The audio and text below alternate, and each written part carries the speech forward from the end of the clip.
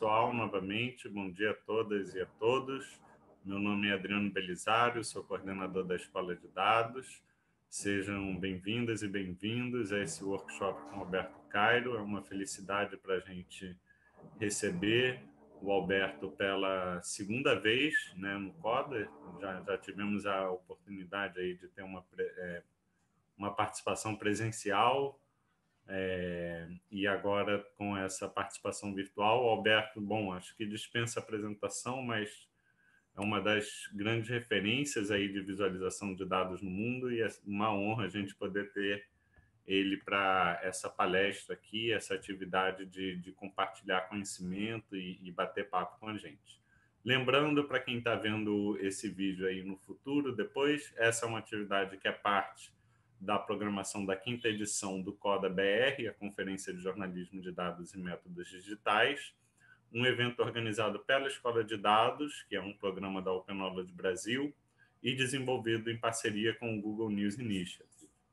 É, então, vou passar a palavra aqui para o Alberto. Peço para que vocês enviem as perguntas por meio da função de perguntas e respostas que tem aqui no Zoom. Lembrando que essa atividade vai ficar gravada e disponível na página do evento em até mais ou menos 72 horas. É, e que para obter o certificado de participação no CODA, você precisa assistir pelo menos quatro workshops utilizando o mesmo e-mail da inscrição no evento ao fazer seu login. Nas redes sociais, estamos utilizando a hashtag CodaBR20. Novamente, obrigado pela participação de todo mundo.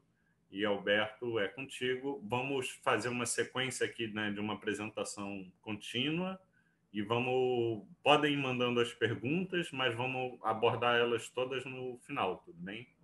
Obrigado, Alberto já já voltamos aqui para trazer as perguntas. Obrigado, Adriano. E é uma pena a gente não poder fazer o evento em, em pessoa, né? Seria muito mais legal, mas estamos na situação na que estamos, né? então tudo virou virtual. Eh, antes de começar, vou pedir desculpas porque minha voz está muito ruim, estou com uma gripe, uma coisa, espero que não seja Covid, eu acho que acho que gripe mesmo, então minha voz não está muito boa. Uh, e, e, também não dormi muito, como podem imaginar, pelo, pelas eleições. Né? Fiquei olhando os resultados das eleições até, sei lá, uma da manhã, duas da manhã, e depois de, demorou para dormir pelo nervoso né? que, que estou. Os resultados ainda não estão, não estão decididos, como vocês sabem. Né? Bom, vou compartilhar minha, minha tela. E o, a título da apresentação, como vocês sabem, é, é como tomar melhores decisões em visualização de dados. Eh, duas coisas antes de eu começar. As imagens vão estar, estão em, em inglês, mas eu vou traduzindo elas para o para português.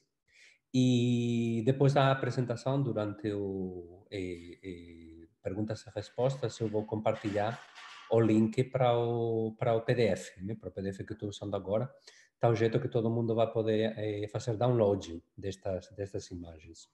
Bom, vou começar. Eu acho que a gente está agora numa, numa época que estamos vivendo através de uma, eh, de uma era de ouro da, da visualização de dados. Eh, eu chamo ela de segunda, segunda eh, era de ouro da visualização de dados. A primeira idade de ouro da visualização de dados foi no século XIX, com o trabalho de pessoas que são consideradas super importantes para a história da visualização, como Florence Nightingale, que era uma enfermeira do, da Inglaterra que criou gráficos, uma série de gráficos maravilho, maravilhosos. Lá no século XIX, John Snow, um doutor também do, da Inglaterra. Tudo isso foi, o século XIX foi a primeira idade de ouro da visualização de dados, quando a visualização de dados começou a tomar eh, importância em, em, em, publicações, graças a alguns, algumas pessoas que foram pioneiros na, no uso da visualização. E hoje a gente está numa segunda era de ouro que começou, eu acho, começou, os primeiros passos começaram nos anos 70, 80 do século, século passado, e graças ao trabalho de vários estatísticos, por exemplo, John Tukey, que tem um livro, tem um livro super famoso chamado Exploratory Data Analysis, e depois essa viradouro pegou já uma velocidade muito grande a partir dos anos 2000, com uma expansão do, do, do acesso, a, do, do acesso a, a dados digitais, né? Na área de jornalismo, a área da que eu, da que eu sou parte, a visualização de dados é super importante. Está tomando uma força nos últimos 5, 6, 10 anos, mais ou menos. Teve uma explosão do uso de visualização nos, na, na mídia, eh, em todos os países com os que eu tenho alguma familiaridade. Né? Logicamente, agora está dando aula nos Estados Unidos, mas também está acontecendo no Brasil, na Espanha. Nos Estados Unidos, eh, a grande mídia está investindo muito pesado em visualização de dados, em jornalismo de dados em, geral, é, bom, pesado para os estándares da, da, da indústria, né, da mídia. Né? Quer dizer que são mais uns investimentos relativamente pequenos em comparação com outras com outras áreas. Né? Mas estão contratando, a mídia está contratando gente para fazer visualização porque estão vendo que a visualização atrai os leitores. Muitas, mais, muitas, muitas das histórias mais lidas eh, na mídia dos Estados Unidos, os grandes jornais dos Estados Unidos, por exemplo, o New York Times, eh, são visualizações de dados. Eh, a história mais vista, mais lida do New York Times eh, online, a história do New York Times online, uma visualização eh, que se chama o, o, mapa dos dialectos nos Estados, nos Estados Unidos. Uma visualização na que você insere como você fala algumas palavras ou pronuncia algumas palavras e aí o que acontece é que aparece um mapa que mostra, baseado no que você respondeu das perguntas, um mapa que mostra aonde você provavelmente mora ou, ou onde você nasceu, né? baseado no dialecto do inglês americano que você que você fala. Eh, no Washington Post, a história mais lida da história do Washington Post online é um, uma visualização que foi publicada no começo da pandemia, é que é uma simulação de como cresce uma pandemia, como é o contágio de uma pandemia, dependendo de se o governo de um país toma medidas ou não toma medidas, se não tem medida nenhuma, então a pandemia vai por livre, começa a crescer muito rápido, como está vendo agora, mas depois vou mostrar o que acontece se um governo, o governo do país toma algumas medidas, como por exemplo, impor ao povo uma separação física ou separação social, como chamam, né? Aí a, o contágio é muito é muito menor, você consegue conter. Esta simulação, esta visualização que simula esta expansão da pandemia virou a história mais vista no Washington Post eh, online. Não só isso, faz alguns, algumas semanas vi um artigo que apareceu também no Washington Post falando de quais foram, qual é o conteúdo que o Washington Post publica, que é mais popular, e tem uma, um parágrafo, um parágrafo nessa história que fala que das sete histórias mais lidas na história do Washington Post Online, das sete histórias mais lidas, seis delas são histórias produzidas pelo departamento de gráficos do Washington Post. Seis de sete. Isso cria umas oportunidades gigantescas para, o, eh, para, o, para a gente que esteja interessada em visualização de dados eh, oportunidades de, de, trabalho, oportunidades de, oportunidades de emprego. Não só em jornalismo, muitas outras áreas. Estou falando de jornalismo agora, é simplesmente porque eu sou jornalista. Né? Eh, mas também tem muitíssimas oportunidades em áreas de inteligência de negócios, de análise de dados, de ciência de dados, etc. A visualização está crescendo muitíssimo em todas estas áreas. Então, uma nova era de ouro da visualização. Mas também tem desafios. Né? Também tem desafios que é que a gente ainda continua pensando na visualização com estándares que são, eu falaria, bastante antigos. Né? A gente ainda, muitas pessoas ainda têm na cabeça uma série de mitos que eu, eu tento, contra os que eu tento lutar habitualmente. Por exemplo, o mito de que uma imagem é melhor do que mil palavras. Né? Uh, pictures worth a thousand words, em, em inglês. Né? Isso não é verdade. Não é verdade. É verdade só se a pessoa que está lendo a imagem consegue entender a imagem, o que, a imagem quer dizer, senão a imagem não vai ser é, equivalente a mil, é, a mil palavras. Né? Ou a visualização intuitiva. Não, não, a visualização não é intuitiva. A visualização precisa de você aprender a gramática dessa visualização para poder lê-la corretamente. Né? É, no mundo da inteligência de negócios é muito, muito comum, o terceiro mito, os dados devem falar por, por si mesmos. Né? Não me fala nada. Eh, me mostra, esse é o quarto mito, me mostra, não me fala. Né? Só mostra os dados, os dados devem falar por si mesmos. E isso é super perigoso também, porque os dados nunca falam por si mesmos se a pessoa que faz o design e a pessoa que lê o gráfico tem níveis diferentes de conhecimento sobre o assunto do, do gráfico, então a imagem não vai falar por si mesma e os dados não vão falar por si mesmos. A pessoa que desenha o gráfico vai ter que explicar para essa pessoa o que esses dados, esses dados querem. E depois o quinto mito, que é realmente o foco da palestra de hoje, é que tem também a ideia de que a visualização está baseada em uma série de regras super estritas. Né? Faz isto, não faz isto, isto está mal, isto está ruim, não faz isso, isto está bem e tal. É, isso não é verdade. Né? Tem, é, tem também muito é muito comum, por exemplo, ouvir as pessoas dentro da organização falando: ah, não faz este gráfico assim porque este autor deste livro falou que isto isto é ruim. Né? Eu tinha isso visto mesmo com os meus próprios livros, né? Eu tinha ouvido gente falando, ah, Alberto Caro fala que não faz isto, não faz outro, né? Então parece como uma regra, né? Que escreveu no céu alguma coisa. E não é assim, não é assim. A visualização não, é, não pode estar baseada em, em regras super estritas. E por quê? Porque, em algum sentido, bom, eu vou falar primeiro de uma anécdota, uma, uma história relacionada com os primeiros mitos e depois vou passar ao assunto das regras. Como sabemos que, que, que as imagens não são eh, equivalente, equivalentes a mil palavras, né? porque as imagens são ambíguas. Né? Olha esta imagem, por exemplo. Se vocês visitaram os Estados Unidos alguma vez, vocês provavelmente vão conseguir ler esta imagem. Né? Esto, esta imagem representa o slogan do Dunkin' Donuts, que é uma, uma empresa que vende café e donuts aqui nos Estados Unidos. Né? Isto se lê America runs on Dunkin'. América corre no Dunkin', America runs on Dunkin'. Mas eh, ninguém explicou para você o slogan de, do Dunkin' Donuts. Você vai ler esta imagem de, de, de jeitos muito diferentes. Por exemplo, por que, que esta pessoa está correndo, dos, está fugindo dos Estados Unidos? Né? Isso faz um pouco de sentido hoje, né? é, mas é, é, outro jeito de ler esse, esta, esta imagem. Né? Eu lembro de uma história também que a primeira vez que a minha filha pequena viu esta imagem, ela falou: papai, por que, que essa pessoa está, está, está saindo eh, de, eh, dentro, de dentro de uma privada? Falei, como assim essa pessoa está saindo de dentro de uma privada? E aí eu, dei, eu percebi que ela estava vendo uma privada meio girada, meio virada assim, e a pessoa saindo de dentro da privada dando um olho com a mão, assim. É outra possível interpretação dessa imagem. Então, as imagens são muito ambíguas e não é, não é bom só mostrar, tem também que explicar como ler essas imagens. E agora as regras, o assunto das regras, que é o foco né, da palestra de, de hoje. Por muito tempo, acho que a visualização foi ensinada e a gente escreveu sobre visualização como se fosse, como se o design de visualização pudesse estar baseado em uma série de regras super estritas, né? Não usa gráfico de torta, ou faz isto, faz outro tal. E não é tanto assim. A visualização é muito parecida a, a escrever.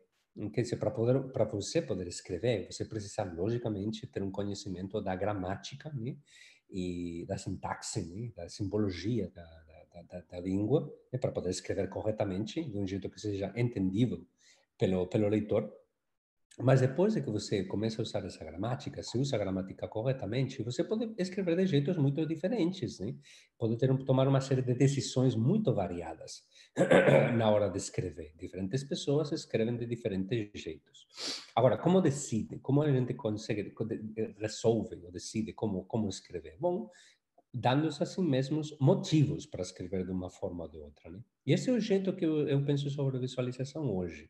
A visualização não pode estar baseada em regras super estritas, pode estar baseada em, sei lá, ideias gerais que têm muita flexibilidade, mas o importante é que o designer desenvolva uma capacidade de raciocínio, de dar eh, motivos, razões para fazer as coisas. Né?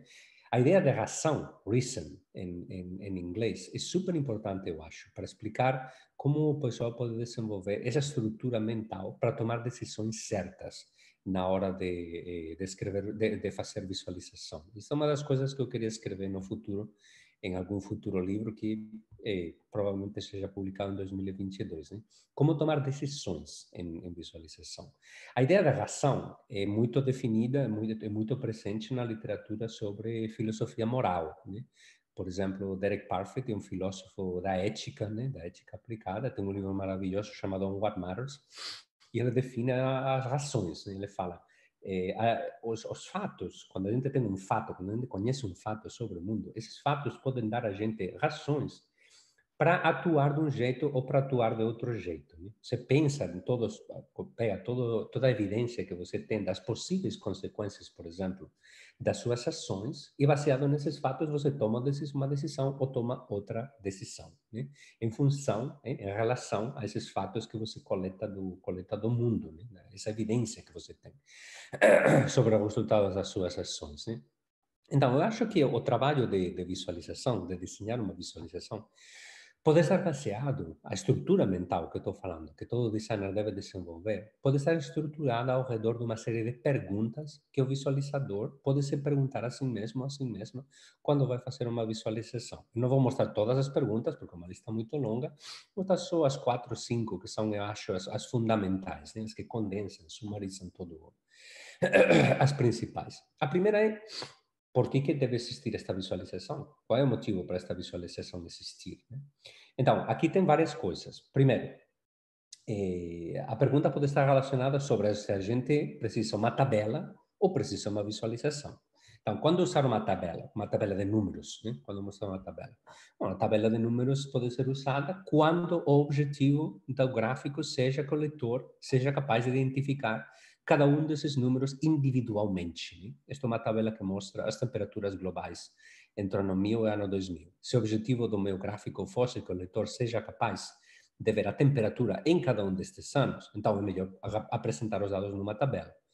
Mas se o objetivo do gráfico fosse diferente, por exemplo, que o, que o, o leitor seja capaz de ver os grandes, as grandes padrões que se escondem por trás destes números, é muito melhor transformar estes dados numa visualização, na que você vai conseguir ver, perdão, essa, essa variação de temperaturas muito claramente. Né? Então, a tabela e o gráfico estatístico baseado nessa tabela, nenhum dos dois é melhor ou pior. São melhores ou piores dependendo do contexto, dependendo do objetivo. Né? Se o objetivo é ver eh, os números individuais, a tabela é melhor. Mas se o objetivo é ver a tendência geral dos dados, temperaturas crescendo eh, de jeito muito rápido nos últimos, em particular nos últimos 100 anos, é muito melhor visualizar os dados. Aí você tem um motivo para fazer a visualização. Lembre que tudo isso é, estamos falando de razões. Eu tenho uma razão, um motivo para fazer esta visualização e que meu objetivo nesta visualização é permitir que o leitor veja, perceba né, estes padrões e tendências dos dados. Eu tenho uma razão justificada. Né? Agora, tem outro assunto também relacionado com esta pergunta de por que esta visualização tem que existir, né? que está muito mais, muito mais relacionado com as possíveis consequências éticas dessa visualização. Olhem aqui. Isso foi um mapa que foi publicado por um jornal do estado de Nova York eh, lá no ano 2012. No ano 2012 teve um tiroteio terrível numa escola elementar chamada Sandy Hook Elementary School, em, em, no estado de Connecticut. Entrou um maluco no, na escola, começou a tirar, matou um monte de crianças, foi uma coisa terrível? Uns dias depois de, de que aconteceu isso, este jornal de Nova York publicou este mapa que vocês têm aqui. Neste mapa, cada um dos pontinhos representa uma pessoa eh, no estado de Nova York que tem permissão de posse de arma. Né? no estado de Nova York você precisa ter um, ter um, sei lá, um papel que fala você pode ter arma. Né? Então, este mapa, quando foi publicado, eh, isto todo, logicamente, está baseado em dados públicos. Né? Isso, quando você tem posse de arma, de posse de arma, o seu nome, o seu endereço passam a formar parte de um, de um banco de dados. Esse banco de dados pode ser pedido por, por um jornal, né? Fa, fa, fazem o que, fa, o que se fala uma petição FOIA, né? Freedom of Information Act, e você consegue ter esses dados, aí este jornal pegou esses dados e visualizou esses dados no mapa. Agora, esse mapa provocou uma reação muito violenta, muito forte da, pelas pessoas que estão representadas no mapa, né? E aí o jornal se defendeu falando, eh, a gente pensou que era importante mostrar esta informação depois do tiroteio que aconteceu na, no, Sandy, no Sandy Hook, para informar aos nossos leitores quanta gente tem armas ao redor de onde eles moram, né? Então, eu não vou falar para vocês com, muita, com muito detalhe porque que eu acho que isto está errado. Está errado, eu acho, publicar um mapa como este, né? por vários motivos. Primeiro, vou falar isso muito, muito brevemente. Primeiro, porque essas pessoas que estão representadas no mapa, essas pessoas não são criminosos. Essas pessoas são simplesmente que têm uma permissão de posse de arma. Isso não quer dizer sequer que essas pessoas têm arma. Porque você pode, por exemplo, sei lá, gostar de atirar por esporte, né? você tem uma permissão de arma, mas isso não quer dizer que você tem uma arma em casa. E essas pessoas não são criminosas. Né? E não só isso, é, representar as pessoas individualmente num mapa como este pode ser super arriscado, porque pode pôr estas pessoas em perigo, em perigo de ser assaltados por criminosos para roubar, roubar as armas que eles têm em casa. Né? Então, a pergunta que o visualizador tem sempre que se fazer é por quê? Por que, que este gráfico tem que existir? E não só isso, por que, que esse gráfico, se a gente resolve que o gráfico deve existir, a gente tem que se perguntar, e o gráfico não poderia ter, não poderíamos apresentar os dados de outro jeito diferente? Por exemplo, num caso como este, poderíamos apresentar a informação, mas no lugar de apresentar a cada pessoa como um pontinho sobre o mapa, a gente poderia agregar os dados e mostrar a densidade, né? mostrar, sei lá, a quantidade de pessoas numa área, e aí o que a gente faz é colorir as áreas com intensidades diferentes para mostrar o número de pessoas, e aí não revelamos qual é a, a, posição, qual é o endereço de cada uma dessas pessoas. Aí você consegue informar, mas ao mesmo jeito não individualiza os dados desse jeito tão perigoso que o mapa original, que o mapa original fez. Né? Então, a pergunta também que a gente tem que se, que se fazer, sobretudo quando a gente eh, usa dados referentes relacionados com pessoas, com indivíduos, é qual é o benefício social de publicar esta visualização em contraste ou comparado com o possível dano que essa visualização pode provocar, porque você está colocando de novo as pessoas, né? No mapa pode pôr elas em perigo, né? Tem que balançar esses dois, essas duas coisas, né? E se os possíveis danos são muito maiores que o possível benefício de publicar essa essa visualização, a visualização não deve existir, não deve existir. Tem que ter muito cuidado com essas coisas. Segundo é o que, é visualizar, né? Isto é super importante para jornalista. Muitas vezes jornalista pega uns dados, a gente cria visualização sem se preocupar por se entendemos o que, que estamos visualizando, as definições das métricas que estamos visualizando. E também muitas vezes não prestamos atenção às limitações dos dados que estamos apresentando. Isto é super importante. Vamos começar primeiro com as definições.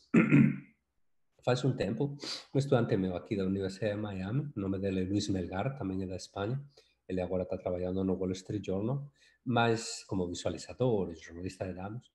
Eh, antes de se formar, eh, ele fez o projeto do final de, de final de mestrado, né? e aí ele fez uma grande visualização sobre eh, pessoas sem teto na, na Flórida, homeless, né? a palavra em inglês é homeless, pessoas sem teto.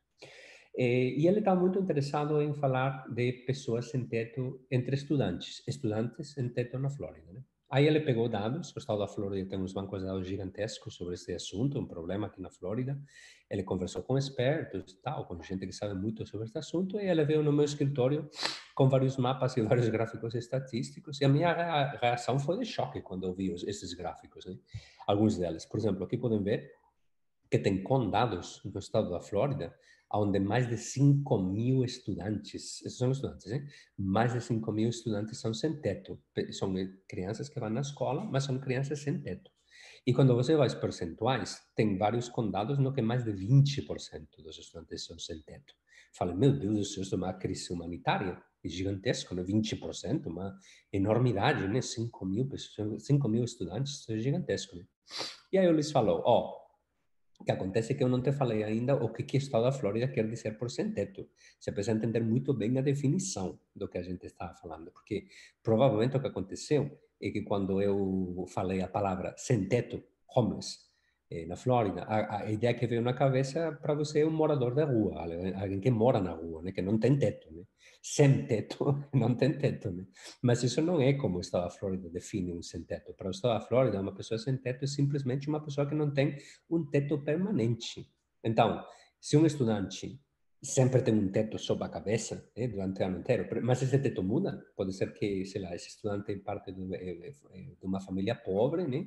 Essa família não consegue manter o mesmo teto o ano inteiro, tem que mudar de, de casa, né, de moradia três vezes ao ano, né? pode ser e que, que essa pessoa já passe a ser eh, passe a formar parte do, do banco de dados de homeless, né, de, de sem teto aqui na, na Flórida, simplesmente porque não tem um teto permanente. Então, qual é a mensagem desse assunto? Que é muito fácil para as pessoas não prestar atenção, para as pessoas, quando falo pessoas, falo jornalistas, designer, não prestar atenção às definições. E não só isso, não mostrar essas definições para os leitores eh, explicar muito bem para o leitor o que quer dizer esses números. Né? Não simplesmente falar pessoas sem teto na Flórida, mas colocar uma explicação falando esta é a definição de sem teto que a gente está usando e explicar muito bem qual é essa, qual é essa, qual é essa definição. Porque a visualização não consiste só em visualizar, consiste também em explicar as coisas. Né? Esse é um assunto que eu vou falar um pouquinho mais importante, um pouquinho mais tarde, a importância de colocar texto que explique essa visualização. Tem outro assunto também relacionado com entender os dados. A gente tem que se perguntar se entende os dados, relacionado com a incerte incerteza dos números. Né? Hoje, que a gente está completamente rodeado de, de, de, de, pesquisas eleitorais, etc., tem candidato 1 tem 48% do voto. Está previsto que tenha 40, 48% do voto. E candidato 2 está previsto que tenha 45% do voto. E aí o povo fala, candidato 1 está na frente do candidato 2. E não é verdade. Por quê? Pela margem de erro. Né? Isto aconteceu eh, no El País, o jornal mais importante da Espanha, faz alguns anos. Eles publicaram uma história sobre a Catalunha. Como vocês sabem, a Catalunha é uma região da Espanha na que mais ou menos a metade da população quer que a Catalunha vire um país independente, a outra metade do país quer que a Catalunha continue sendo parte da Espanha, uma região da Espanha. Aí o país titulou quatro colunas, todo, toda a, a, a parte frontal, do, a página 1 do, do jornal, o não à independência da Catalunha ganha por primeira vez ao sim à independência da Catalunha desde 2012. Isso é uma, baseado numa pesquisa que é feita pelo governo catalão cada ano. Né? Perguntam várias coisas para os cidadãos e depois uma, delas, uma dessas perguntas é se quer que a Catalunha vire um país independente? Aí o país fala que o não a essa pergunta é maior que o sim a essa pergunta. Dentro da história tinha um gráfico de pizza que eu transformei num gráfico de barra para que fique um pouquinho mais um pouquinho mais claro, né? E como vocês podem ver, parece que sim, é, parece que é verdade, é verdade que o não à independência, que é a barra sul, 45,3 é um pouquinho maior que o sim à independência, que é o 44,5, né? Mas isto é verdade? Não, não é. Por que, não é verdade? Bom, porque a própria história do país no, no corpo da história fala a margem de erro da pesquisa são três pontos percentuais. Uma margem de erro bastante considerável, né? E aí eles falam, é um, isto é um dado relevante considerando a, o, o pertinho que estão, o, o close que estão as, sim ou não Catalunha. E é, isso é verdade, é tão importante e tão relevante que você não pode falar que uma está na frente da outra, não pode, porque a probabilidade de que essa pequena diferença que você tem entre esses números seja só produto de erro, de erro, perdão, de erro eh, da amostra amostral é gigantesco, a probabilidade é gigantesca. Ou tudo o que você pode escrever e falar é que parece que o sim e o não estão empatados, são iguais.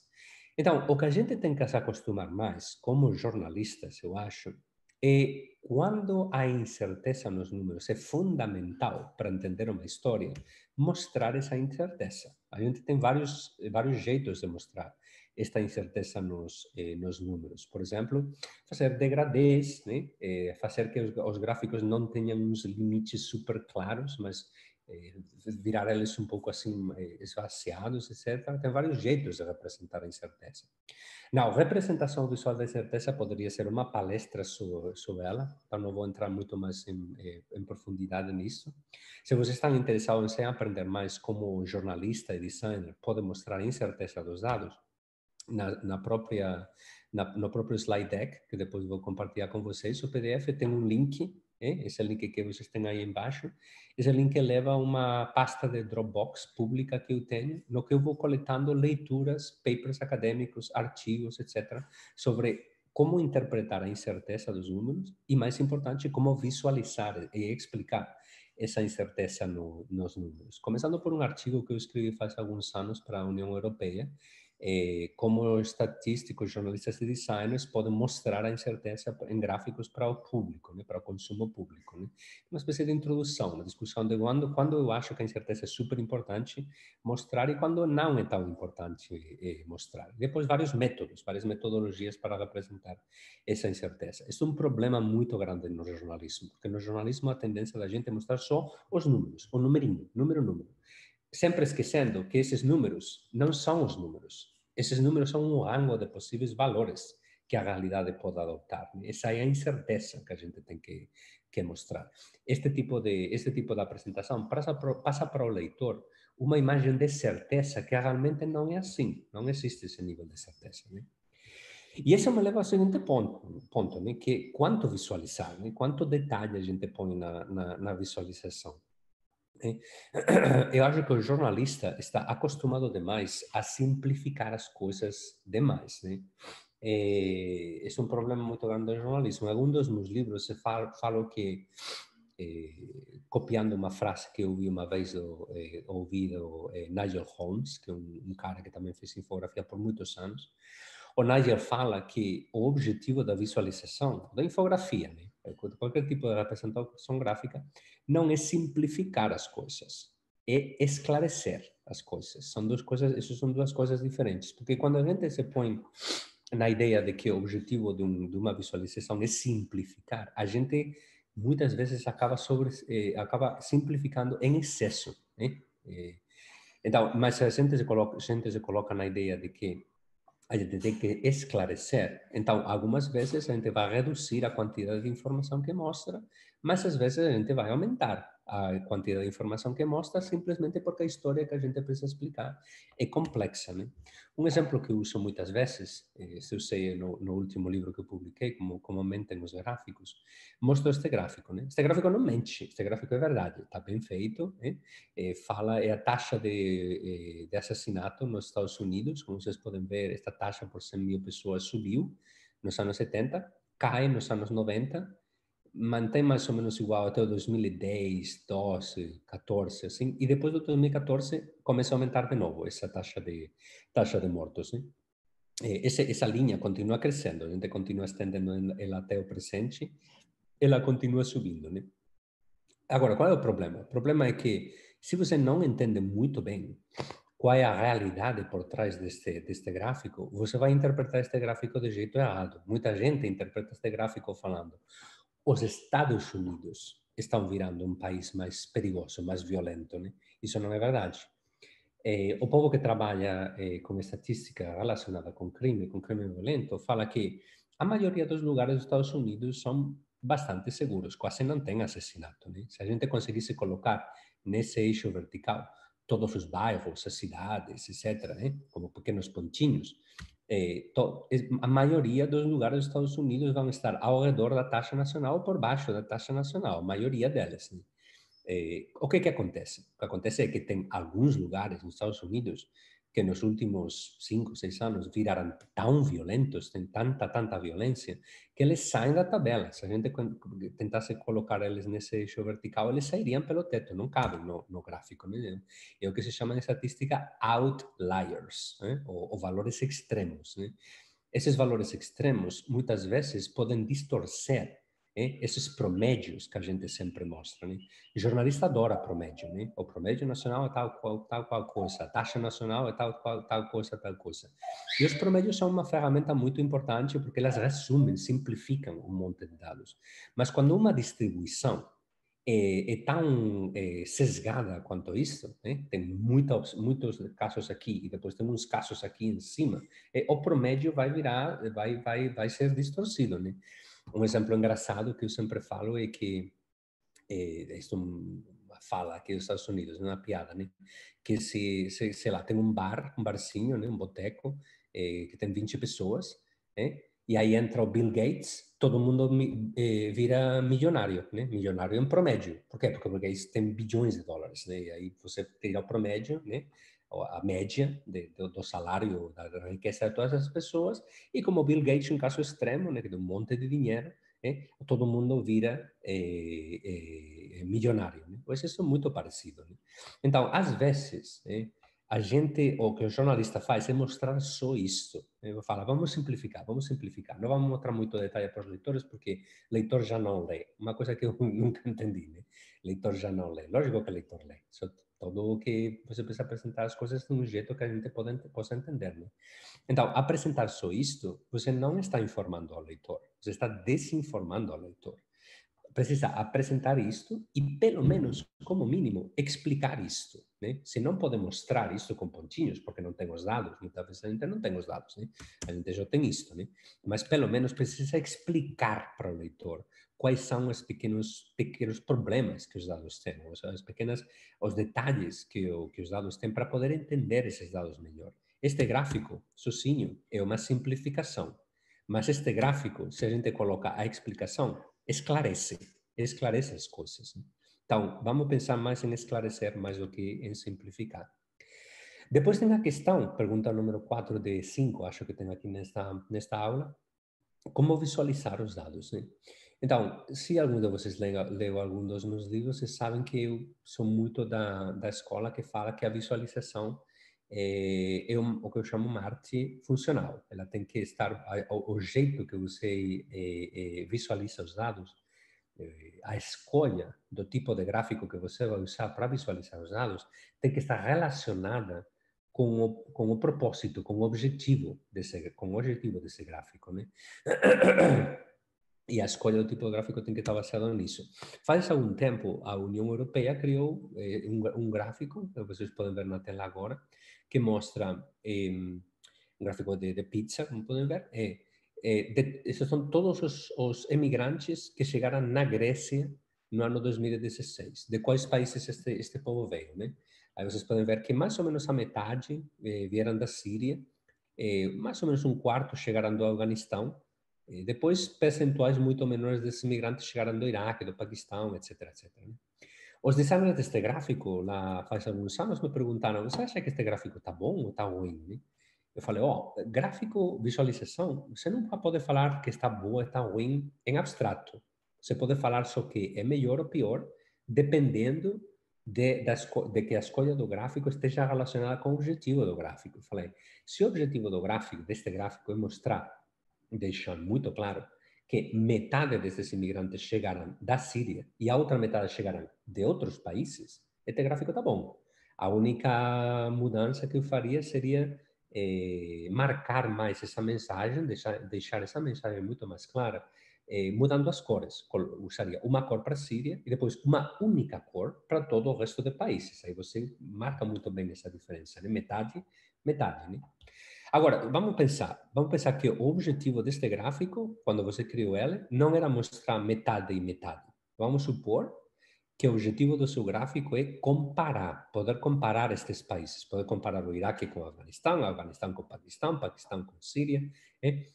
O gráfico de pizza não funciona para isso. A gente tem um monte de evidência empírica que fala que gráfico de pizza não é bom para comparações, né? porque você precisa quase fechar um olho, usar os dedos para ver a, a, o tamanho desses segmentos dessa, dessa pizza e comparar uns com os outros. Então, se o objetivo fosse comparação, o gráfico de pizza não funciona. Seria muito melhor usar, por exemplo, um gráfico de barra ou alguma alternativa de gráfico de barra, porque as barras sim que permitiriam comparar, comparar, eh, comparar esses países. E vamos pensar, vamos pensar noutra situação, noutro cenário. Vamos supor que o objetivo do gráfico não é comparar, não é mostrar metade metade, o objetivo do seu gráfico é mostrar aonde que, que estes países estão. É? E se tem alguma relação entre a proximidade destes países à Grécia e o percentual de pessoas que chegam desses países à Grécia. Nesse caso, você precisaria um mapa. Então, baseado nessa, nesse papo, você pode desenhar baseado nos mesmos dados, três gráficos diferentes, exatamente mostrando exatamente os mesmos dados. Gráfico de pizza, gráfico de barra, mapa, poderia ter um monte de outros gráficos diferentes. Né? Então, este, nenhum desses gráficos é bom ou ruim. Esses gráficos são melhores ou piores, dependendo do objetivo que você tem na cabeça.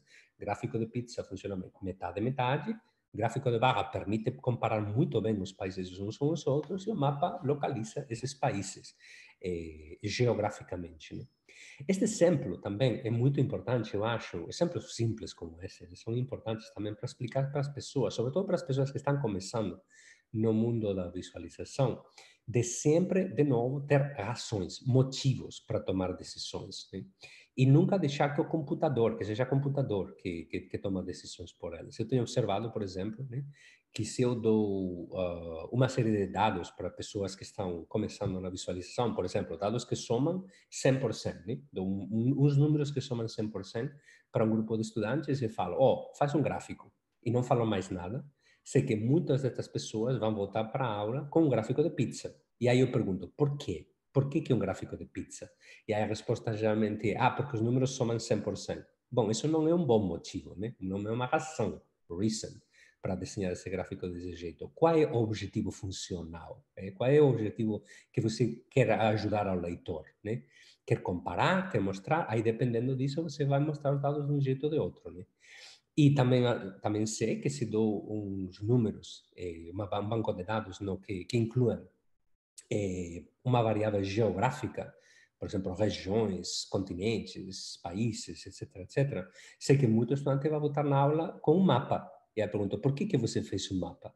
E a resposta é, ah, porque a, a, o banco de dados tinha uma variável geográfica. Isso não é um bom motivo. Você precisa, precisa pensar na função desse, eh, desse gráfico, né?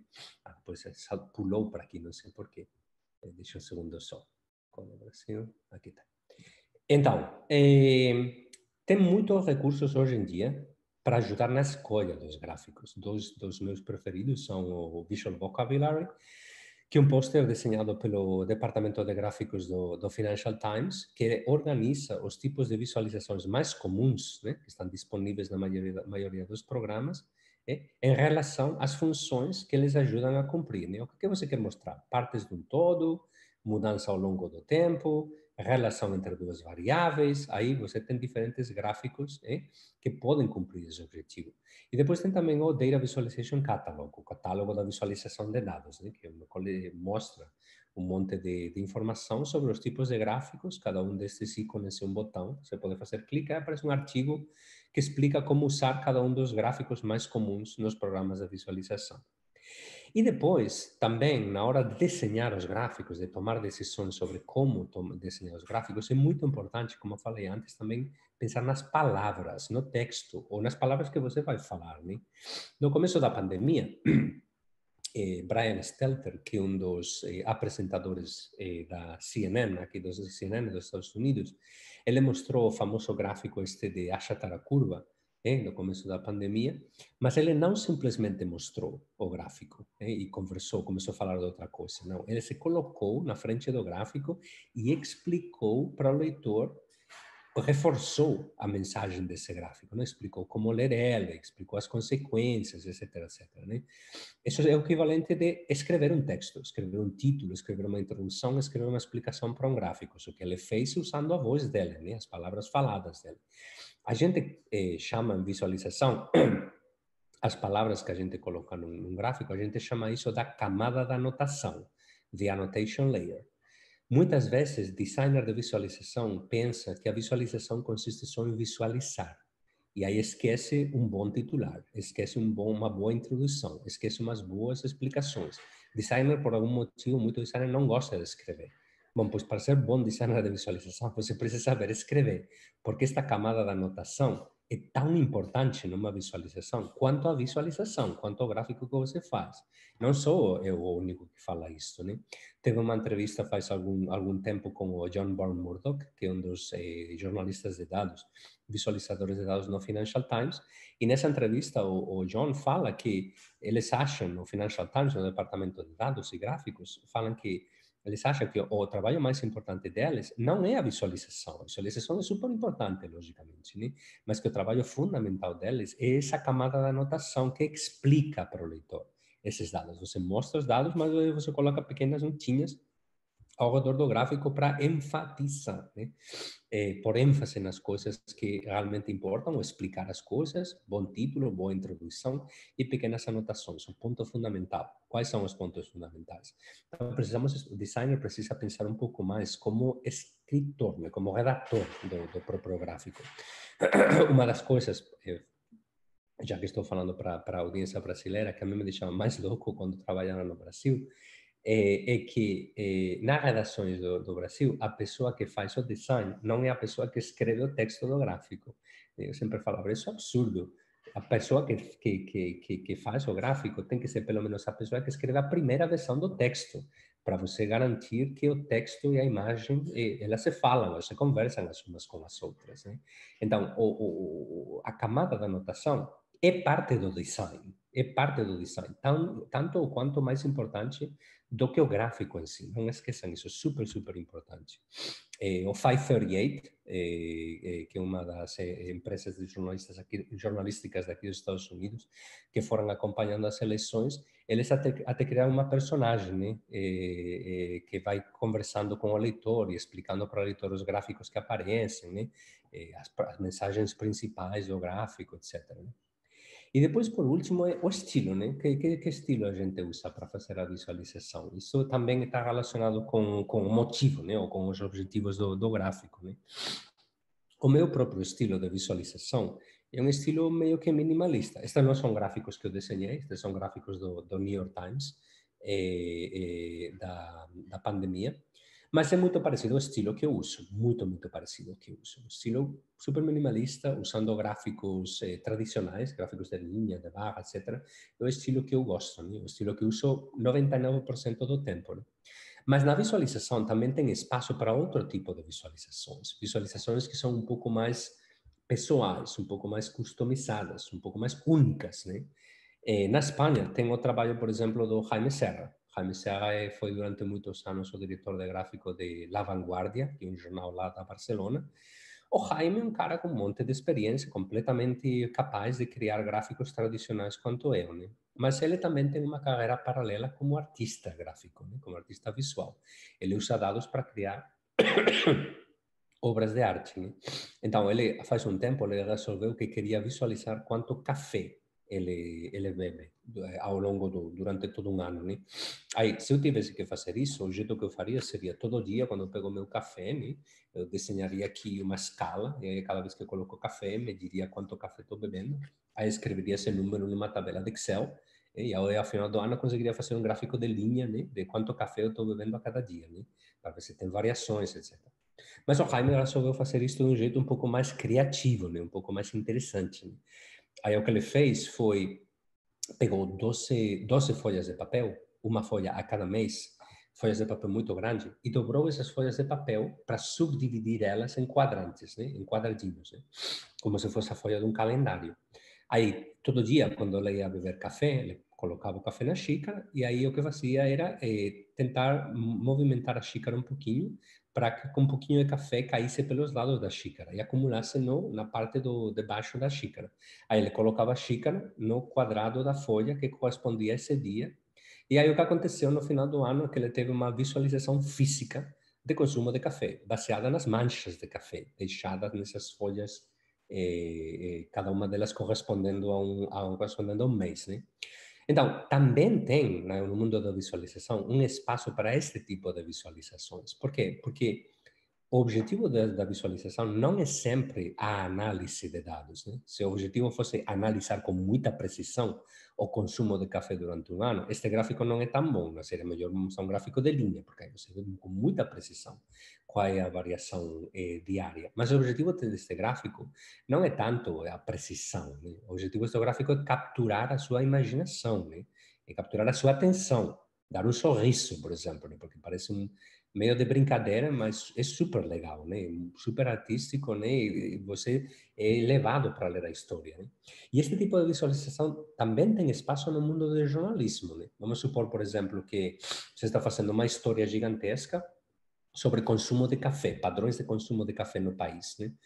E você pues, eh, pega uma, uma, pesquisa, né, consumo de café por pessoa, e aí você subdivide os dados por, sei lá, por sexo, por raça, por nível educativo, por idade, etc. O que, que você coloca no corpo da história jornalística? Coloca este tipo de gráfico, né? Quanto café se consume aqui e lá, consumo não sei o quê, gráfico de linha, gráfico de barra para comparar os diferentes grupos de idade, tudo isso vai no corpo da história.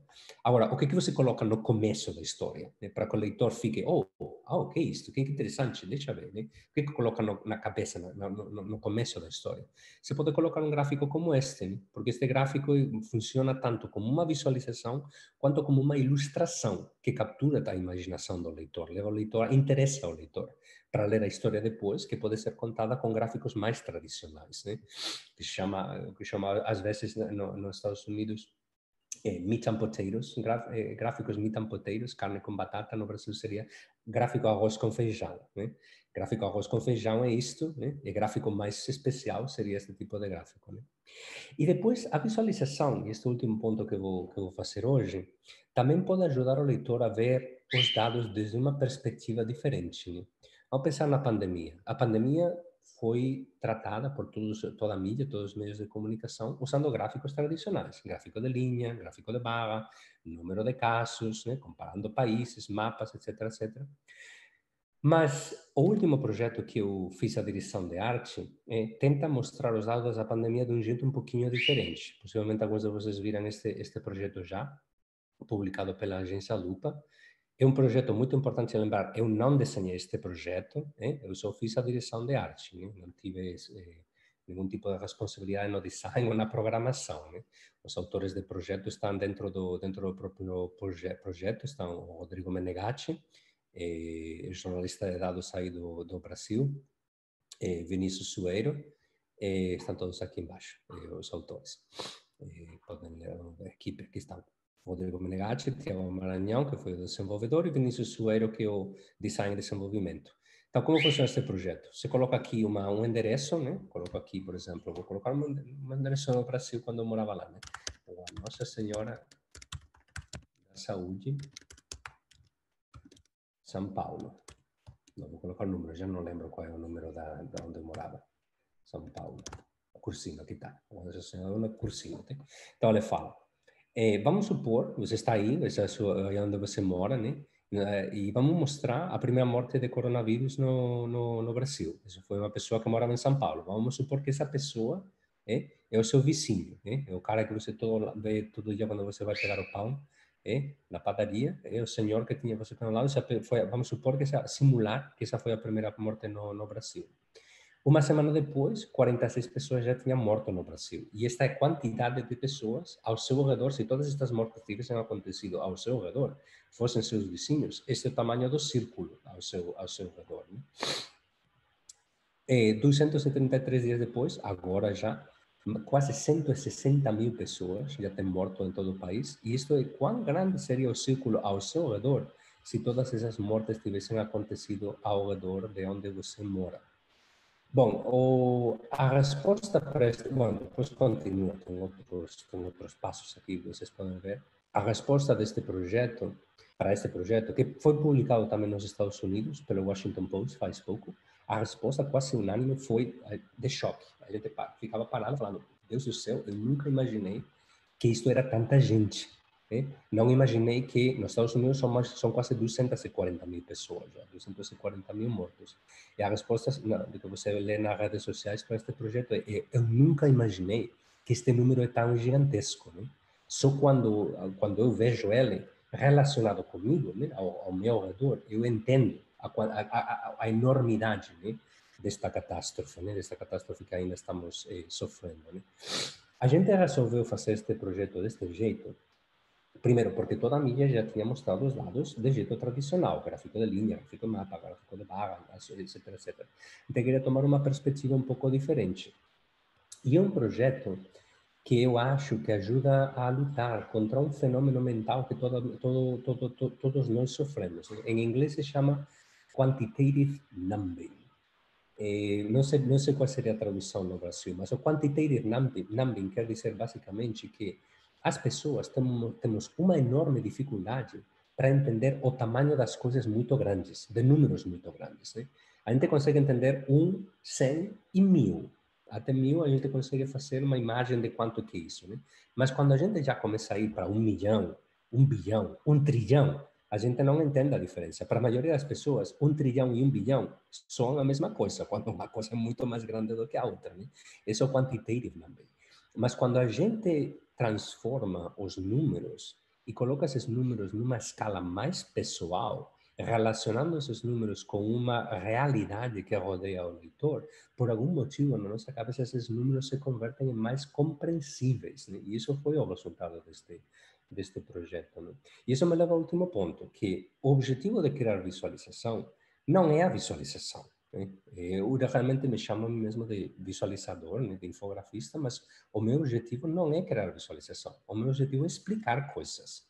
E se para explicar coisas eu uso palavras, ou uso texto, ou uso voice, ou uso vídeo, ou uso visualização, para mim não importa tanto, porque o objetivo fundamental, o objetivo último das pessoas como nós, jornalistas, não é usar um tipo de ferramenta específica, é usar esse tipo de ferramenta com o objetivo de ajudar a gente a entender entender o mundo que rodeia elas para tomar melhores decisões no futuro. Bom, isso é tudo o que tenho preparado para hoje. Como falei, vou exportar isso como um PDF e, enquanto recebo perguntas. E agora temos, temos bastante tempo para perguntas, né? Sim, maravilha. Obrigado.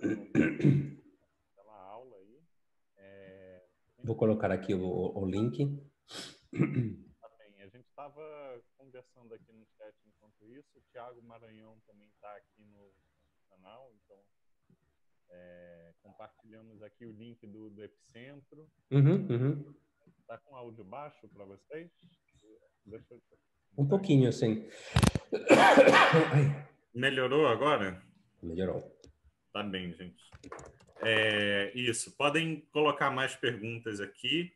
A gente vai pode fazer uma, uma primeira rodada. Eu comentei que compartilhamos aqui alguns links no chat do, do projeto do Epicentro, Datavis Catalog, algumas referências aí que o Alberto mencionou. Vamos compilar tudo também depois no site para facilitar. Uma pergunta da Júlia, imagino que vai ficar resolvida com essa disponibilização do slide, mas ela falou de pediu para ver qual era o nome do livro que foi mencionado sobre a Golden Age da visualização ah, lá no início. Não, não tem livro sobre isso, são autores, eh, mas se você quer ler sobre a história da história da visualização, eh, vai, vai, vai sair um livro novo do Michael Friendly este ano, este ano Michael Friendly, eh, sobre a história da visualização. Ainda não saiu, vai sair este ano, mas, eh, próximo ano, perdão, próximo ano, no começo do próximo ano. Mas vocês podem ler, por exemplo, o livro da Isabel Meireles. Eh, é o livro dela, brasileira, como vocês sabem, Isabel Meireles. Eh, o livro dela é Design for Information, acho que é o, o título. Estou escrevendo aí o, o, o título. O livro dela é fantástico, né?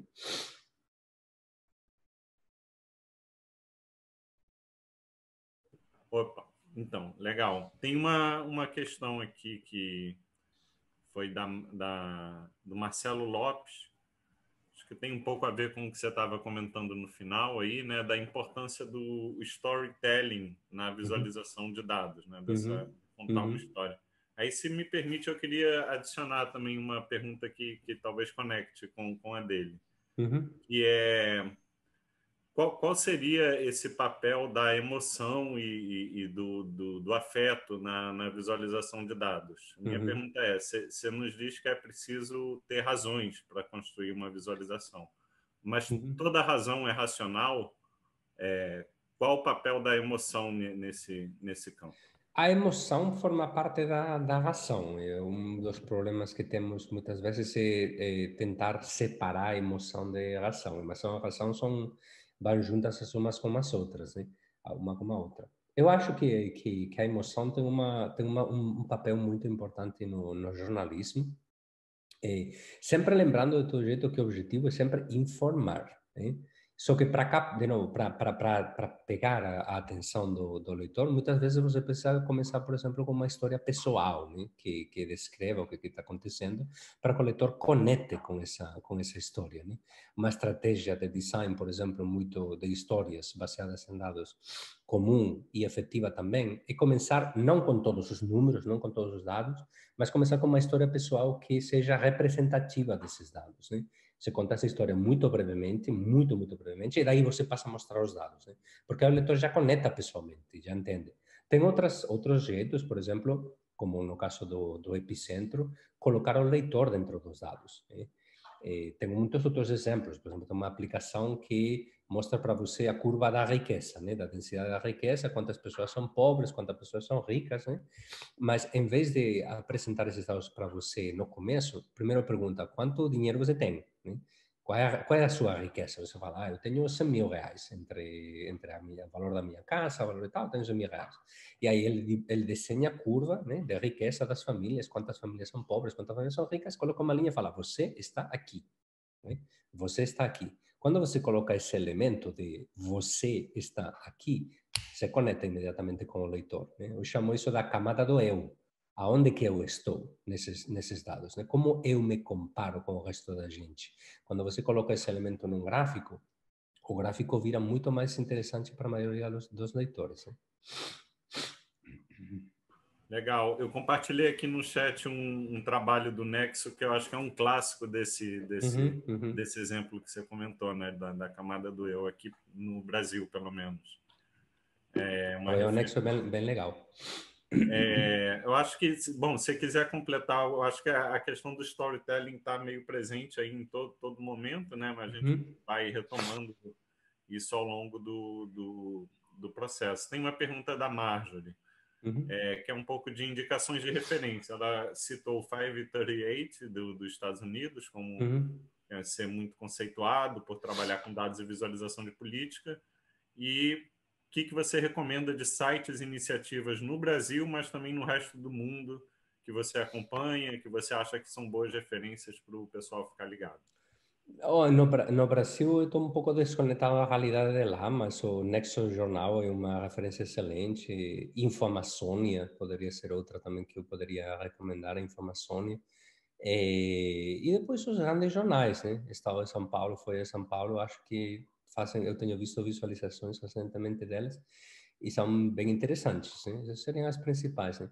Na Espanha, eh, na Espanha, o El País melhorou muito nos últimos dois anos, porque eles deram uma mudança enorme no departamento de infografia, contrataram gente com eh, habilidades de programação, desenvolvimento e tal, e eles estão fazendo um trabalho extraordinário agora, um trabalho super, super bom. Eh, por sinal, falando das histórias mais vistas do, da mídia, né, que falei antes do Washington Post, do New York Times, poderia ter incluído o País. A história mais vista na história do El País Online é um infográfico também, um infográfico sobre a pandemia também. A história mais vista na história do País Online. Isso é gigantesco, né? Estão fazendo um trabalho super, super bom. Aqui nos Estados Unidos, bom, os, os de sempre, né? O New York Times, o Washington Post, o Wall Street Journal, ProPublica também, ProPublica é outro lugar que faz muito boa é, visualização muito boa. E esses são os principais que eu falaria, né, dos países que que eu tenho mais mais conhecimento. Tá ótimo. Tem uma uma questão aqui da Silvana sobre visualização, talvez entrei um pouco nessa questão das referências, se você uhum. tem conhecimento nesse campo. Uhum. Como você avalia, você conhece iniciativas de visualização em formato de vídeo? Uhum. ela mandou um link do Expresso, em Portugal. Uhum. É, eu coloquei no chat, mas fica difícil para a gente ver aqui agora. Mas se você puder comentar uhum. sobre o campo de visualização de dados para vídeo, telejornalismo, por é. exemplo. Tem, tem, tem, muitas, tem muitas possibilidades. Por sinal, é uma área que eu acho que ainda tem que crescer muitíssimo. Né? Eu ontem, por exemplo, que estava acompanhando as eleições, estava eh, acompanhando a CNN. Né? Os gráficos da CNN na TV são muito ruins, muito, muito ruins. Muito piores, paradoxicamente, eh, muito piores dos que aparecem no próprio site da CNN. Os gráficos que aparecem no site da CNN estão muito bons, mas os que aparecem na TV eram muito, eram muito, muito ruins. Então tem um monte de, um monte de possibilidades aí. Eu não tenho muito conhecimento de, de vídeo, né? Mas tenho visto experiências super interessantes de, de trabalho que tenta usar narrativas mais multimídia, né? E, e, eu acho super legal, é uma das áreas que eu acho que tem umas possibilidades maiores, né? Tentar combinar a linguagem eh, da visualização de dados com uma linguagem mais narrativa, baseada no uso de voz para transmitir a, a informação. Eu gosto muito, vi que alguém eh, falou aí no chat do, do, do, documentário da BBC The Joy of Stats, eh, Joy of Stats, da BBC, este documentário foi feito por um cara que se chama Hans Rosling, que tem um site que se chama Gapminder. E eu recomendo às pessoas ver esse site e as palestras dele. Né? Ele tem vídeos mostrando gráficos estatísticos e tal, e explicando os dados de um jeito super engraçado, super divertido e tal. E é muito legal, né? muito, muito legal. Eu gostaria de ver mais apresentadores de TV fazendo isso, né? mostrando gráficos e explicando esses gráficos de jeito que não resulte tão chato para o leitor. Né? Muitas vezes os dados são apresentados assim, sem mais explicação, são coisas frias, né? difíceis de entender, mas quando você coloca uma pessoa na frente desses gráficos, aí eles pegam uma vida diferente, né? viram muito mais interessantes. Né? E esse é o, esse é o poder desse, desse vídeo. Né?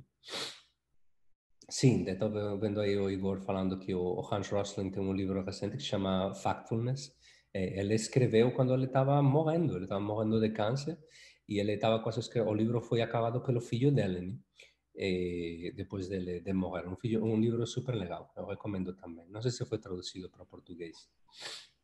Alberto, posso, queria te fazer um, uma pergunta que, que, na verdade, é minha. Seria se você pudesse comentar um pouco, e aí talvez convidando aí, se for possível, é, esse artigo que você é, falou que foi o do mais visto do El País, que uhum. você trabalhou, da, da pandemia, você puder usar isso como exemplo, talvez, mas o que eu queria pedir para você falar é sobre seu processo de criação.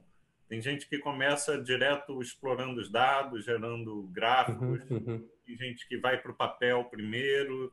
Como que é isso para você? Como que funciona e como que foi nesse caso da, da história mais lida do, do El País? Oh, cada não, não foi El País, foi o, a é, Agência Lupa e depois o, o, Washington, o, Washington, Post. E lembra que o projeto não é meu, eu só fiz uma direção de arte aí, mas o projeto realmente do, do Thiago, do Rodrigo e do, do Vinícius, né? E, então eu não tive tanta responsabilidade na hora de fazer o design desse desse projeto, mas eh, foi mais isso, direção de arte cada designer é diferente. Eu gosto de começar com duas coisas. Gosto de começar com a exploração dos dados, né? E tentar, tentar entender os dados, logicamente. Mas na hora de fazer protótipo, né? De como a visualização pode ser feita, eu faço desenho à mão, faço desenho com, com lápis, né? Por sinal, enquanto a gente está a gente está conversando, estou fazendo desenho. Isso eu sempre estou fazendo alguns esboços assim rápidos, assim, sempre que estou em reuniões e tal, porque me ajudam a prestar mais atenção nas reuniões. E visualização é a mesma coisa, quando eu estou conversando de, de, de, uma visualização, pensando como é uma visualização, né? eu estou sempre desenhando o tipo de gráfico que eu possivelmente vou querer usar. E depois isso, logicamente, transformado em algo feito computacionalmente. Né? Agora, cada designer é diferente. Eu tenho trabalhado, por exemplo, com, muito com o Moritz Stefaner, que é um, a gente fez muito projeto junto. Eh, Moritz Stefaner, procurem ele no Google, um cara super interessante. Ou também a Nadi Bremer, também trabalhei muito com ela. Nadi Bremer, são dois visualizadores extraordinários, os dois. E esses não desenham à mão, esses que fazem fazer os esboços computacionalmente, eles programam os esboços, né? que acho uma coisa super maluca, né? não entendo como pode usar código para fazer eh, eh, os, os do, dos gráficos, mas eles conseguem fazer, né? E ficam super legais. Mas para isso você precisa ser um programador super avançado, eu não sou, não? Eu sou meio que um dinossauro nestas coisas, né? Então, eu continuo fazendo muito, muito desenho à mão. E aí, nos, na maioria dos projetos que eu faço ultimamente, eu, eh, algumas vezes eu faço o design mesmo, mas o que acontece mais habitualmente é que, que eu faço, o que, o que eu faço é mais a direção de arte e a estruturação da história e os grafes do, de como os gráficos vão ser. Não faço a produção do produto do produto final, porque a visualização hoje em dia muitas vezes é um produto de colaboração. E quando você fala de visualização, não estamos falando de um único trabalho, são muitas coisas. Exploração dos dados, design, experiência do usuário, design visual, escolha dos tipos de gráficos, estruturação narrativa, uso de mapas, todas são áreas de especialização. Né? É muito difícil ser um especialista em todas essas áreas. Né? Então, eh, todo mundo que eu acho que trabalha em visualização tem que ter um conhecimento básico de todas essas áreas, né? suficiente para criar gráficos sozinho, mas é impossível ser especialista em todas essas áreas. Então, os projetos nos que eu estou envolvido eh, quase sempre são o produto da colaboração de várias pessoas que têm especializações diferentes. Né? Isso vem muito claramente no projeto da, da do, do Epicentro, né? Do, da gente que trabalhou. Um é um pouco mais jornalista, né? O, o Rodrigo, mas também sabe código, né? Mas é mais jornalista. Temos eh, o Vinícius é mais designer, experiência do usuário, etc, etc, etc, mas também sabe código. E o Tiago, código, código, código, mas também sabe de jornalismo. Então, todo tem um conhecimento básico de todas as áreas, mas cada um desses três tem uma especialização. Né? São muito bons em uma coisa específica. Né? E esse é o jeito de estruturar uma equipe de visualização de dados hoje em dia. Sobre, sobre esse ponto, queria só fazer um, um, adendo de pergunta. Nesse texto do, que a gente compartilhou aqui no chat sobre os bastidores da, da do, do, Epicentro, uhum. é, comentado sobre que foi feito né, de, de, uma forma ali, uma espécie de teste com usuários.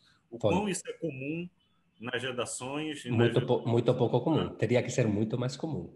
E isso. Qual, qual o caminho aí para tem já tem uma, uma aplicação sistemática de testes para melhoria de visualizações de dados nas redações ou se não o que que como começar? Não, não, não tem algo, não tem algo sistemático. O que acontece na maioria das redações, como máximo, é que as pessoas que fazem visualização ensinam a visualização a algumas outras pessoas para ver se as pessoas entendem bem, mas é muito rápido. Né? É, mas não tem um, um, teste sistemático das visualizações. Isso não, isso não, é, não é comum é, nas redações. Né? Deveria ser um pouquinho, um pouquinho mais comum. Uhum. Tem alguma referência, assim, um texto? Eu quero fazer um teste, eu tenho uma visualização, eu quero conduzir um teste com usuários, com leitores, para saber como isso está sendo recebido. Qualquer, qualquer, manual de, qualquer manual de teste de experiência do usuário, eu não, não, não posso recomendar nenhum em particular, mas qualquer manual de, de análise de experiência do usuário vai ajudar. Ajuda bastante de como organizar um teste, como fazer um focus groups, como fazer um, eh, uma pesquisa, eh, manual de pesquisa em, em, em experiência do usuário. Então, aqui, pegar duas perguntas, uma da Patrícia e uma do Paulo, que falam um pouco de aplicações de visualizações de dados em campos é, distintos. Né? A Patrícia com interesse mais institucional, assim, de visualização de dados para a produção de relatórios anuais, uhum. prestação de contas de transferências financeiras, é, dashboards, ela está atrás de, um, de, um, de referências e coisas interessantes nesse sentido. Uhum. E o Paulo interessado mais um pouco na visualização de dados para o ativismo, para a defesa de causas específicas. O que, que você pode uhum. comentar sobre esses dois campos? Não vou comentar muito, o que eu vou fazer é mandar para vocês exemplos. Vamos pôr aqui um link aqui no, no chat. Exemplos de visualização institucional reportes. Aqui eu tenho uma, uma outra dessas outra dessas pastas públicas de Dropbox que eu tenho. Aí eu vou colocando exemplos super legais de é, reportes anuais sobre de várias diferentes, um, por exemplo, sobre desigualdade econômica. É, tem dois é, reportes de biodiversidade na Colômbia, um reporte da Unicef e outro do do Banco Mundial. E todos eles são exemplos muito bons, eu acho, de como usar visualização dentro de um, dentro de um reporte. Podem tomar esses como exemplos. Eu, eu acredito muito na aprendizagem através de copiar. De copiar não no sentido de plagiar, logicamente, mas de tomar inspiração do trabalho de outras, de outras pessoas. Né? Então, eu começaria por aí. Tá certo, muito obrigado. Ah, e, e a, a, outra era sobre o campo do ativismo. Do, da, mesma coisa, mesma, eu acho que é a mesma coisa. Esses exemplos podem ajudar bastante também. Tá ótimo. É, tem uma questão do Eduardo, que é como criar visualizações de dados para que cegos possam visualizá-las. Para quê? Cegos. Aí tem que ver outras, tem que ver não visualização, logicamente, tem que transformar os dados em outros canais de comunicação. Talvez sonificar os dados é, ou fisicalizar os dados. Tem uma ferramenta de graça que eu ajudei a desenvolver faz um tempo que chama Tuton, vou colocar aí, Tuton, é uma ferramenta para sonificar dados, que funciona no, no browser. Sonificação. É uma ferramenta de graça, é completamente de código aberto. Podem mesmo baixar o código da ferramenta gratuitamente do, do GitHub. E é uma ferramenta na que você coloca uns dados e aí o que a ferramenta faz é transformar os dados em, em sons. Né? Tem algumas ferramentas de visualização, como, como Jump, Jump é uma ferramenta de analítica, de, de, de, visualização analítica, que tem algumas capacidades já de sonificação. Então, sonificação pode ser uma resposta. E depois, fisicalização, basicamente a transformação de dados em objetos físicos. Em vez de criar um gráfico de barra que aparece na tela, você imprime esse gráfico em três dimensões e aí o povo consegue tocar, né? encostar as mãos no, no gráfico e perceber as variações. Né? Eu não tenho muita experiência em todas estas, em todas estas áreas, mas, de novo, eu acho que eu, é, igual que a visualização de dados em vídeo, é outra das áreas eu acho que tem uma, uma, uma um enorme potencial de, de, crescimento. Tem outra história também com fazer os gráficos mais acessíveis para leitores que não podem ver, né? que é sempre que for possível eh, no seu gráfico online colocar texto alternativo, é dizer, escrever um parágrafo que descreva o conteúdo do gráfico, porque um computador não vai poder ler o gráfico para, para esse leitor cego, mas o texto sim vai poder ser lido pela máquina, né? Então, sempre que for possível, incluir uma descrição dos pontos principais desse gráfico, né? Legal, então algumas pessoas estão comentando aqui alguns exemplos de sonificação, né, que uhum. é, no podcast Durma com essa. A Bárbara comentou também de fisicalização de dados no Museu da Manhã. Uhum, uhum. Sim, tem bastante experiência e tem que ter mais, tem que ter muita experimentação com isso ainda. E é interessante essa essa interseção aí, principalmente nesse campo entre a arte, né, entre tem os artistas um pouco explorando essas fronteiras, tecnologia, sim, sim, artistas dos hum. dados e abrindo um pouco campo, uhum. né? Como, é. como mesmo. É, é. Eu falo, eu não tenho muita experiência nessas áreas, mas tenho muito interesse em ver novidades em todas estas em todas estas áreas. Né?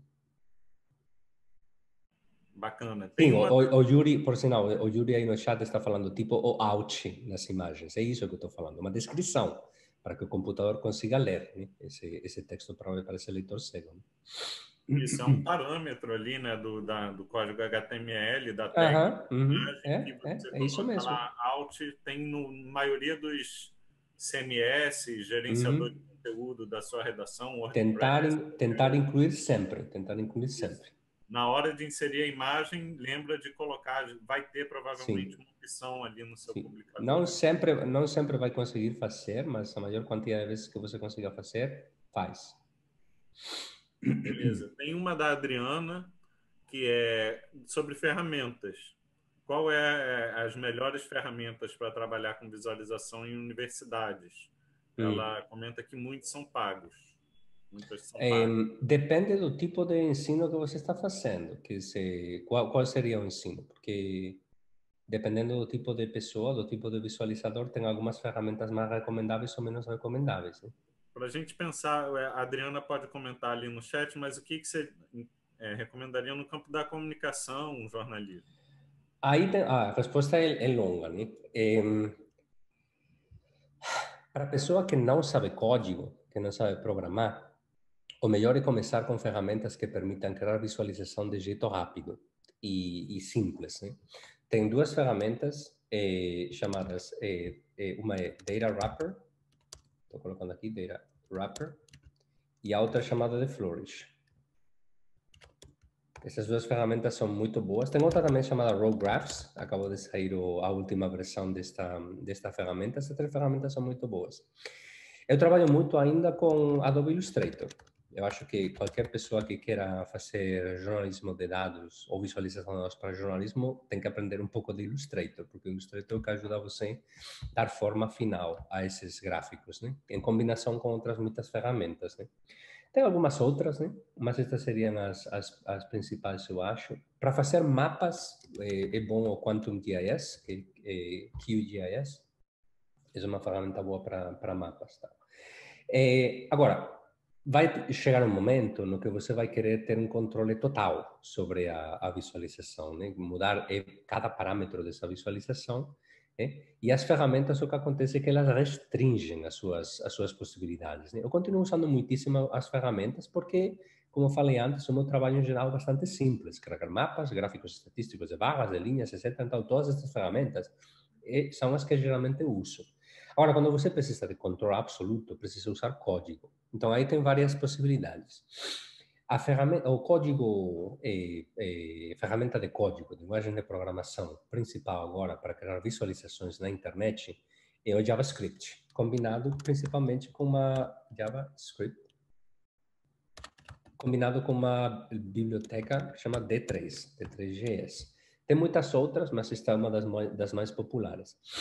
E depois, uma, um, um, uma linguagem de programação que eu gosto, e esse, assim, eu JavaScript D3 não uso. Eu sempre, tenho que, sempre que tenho que fazer visualização interativa, sempre acabo colaborando com o desenvolvedor, né? porque eu não faço JavaScript.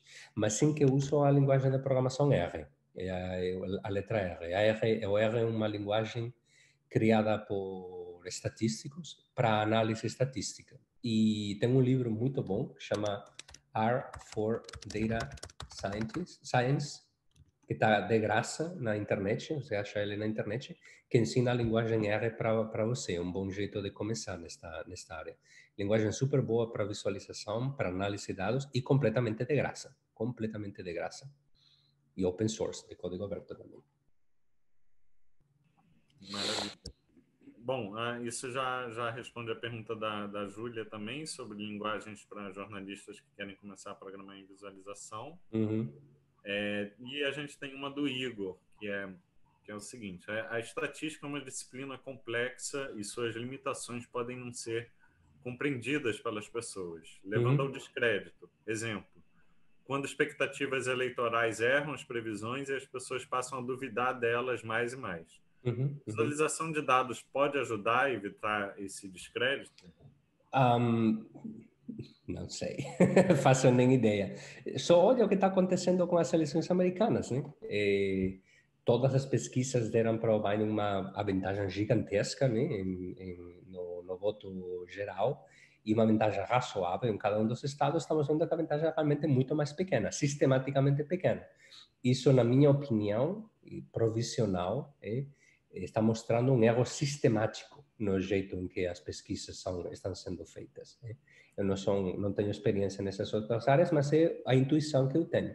Agora, isso quer dizer que eu vou desconfiar das, eh, das pesquisas?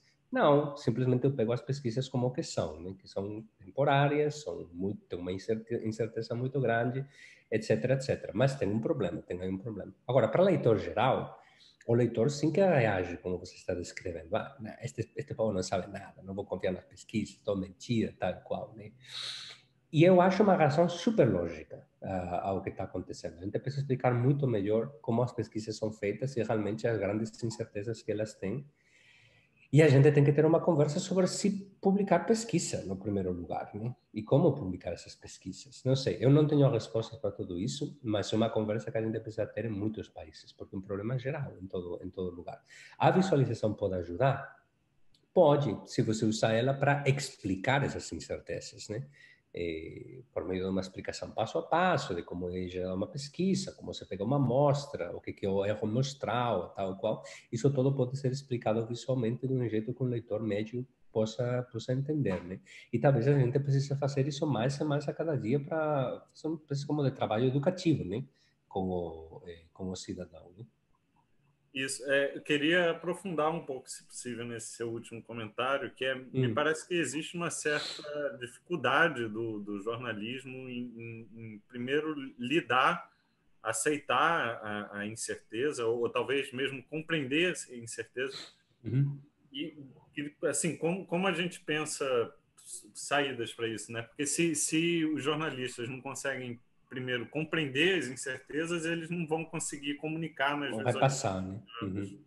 É... Olha, olha, olha os artigos que eu coloquei nessa, nessa pasta de Dropbox que eu coloquei aí, porque no, nos slides, porque aí tem vários eh, papers acadêmicos, né, de gente que está mostrando diferentes eh, jeitos de apresentar a incerteza, a probabilidade, etc. Tem diferentes jeitos. Né? Não tenho ainda conclusões do que funciona realmente 100% do tempo, mas sim que tem algumas ideias que eu acho que precisam ser aplicadas, começam a ser aplicadas um pouco mais sistematicamente. Né? Sim. É, a Patrícia comentou também que estava interessada em aprofundar essa questão o paralelo que eu, que eu fiquei pensando aqui, enquanto a gente estava conversando, era um pouco o conceito de. Já foi até citado em alguns outros workshops aqui no CODA, na, na abertura. Hum. Em média, mod, média móvel, uhum. hoje em dia, é falado no Jornal Nacional. Mas nunca explicado o que, que é, né?